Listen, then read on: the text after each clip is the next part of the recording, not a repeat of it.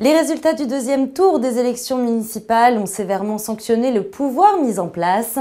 L'UMP arrache au PS une centaine de villes, tandis que le FN s'empare de plus de 10 villes.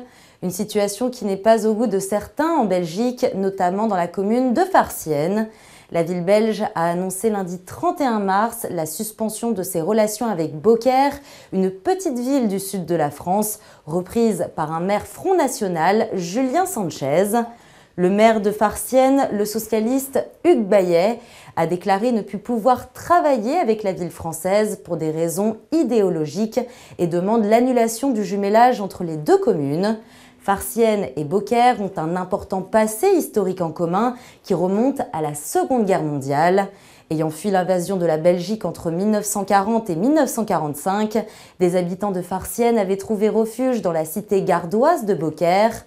Un lien fort s'était concrétisé par un jumelage en 1969, reconduit en 2008. Le même scénario a été observé entre la ville belge d'Arlon et Hayange en France. Le maire centriste du chef-lieu belge, Vincent Magnus, a en effet annoncé à contre-coeur la fin des relations entre les deux communes après la victoire du FN.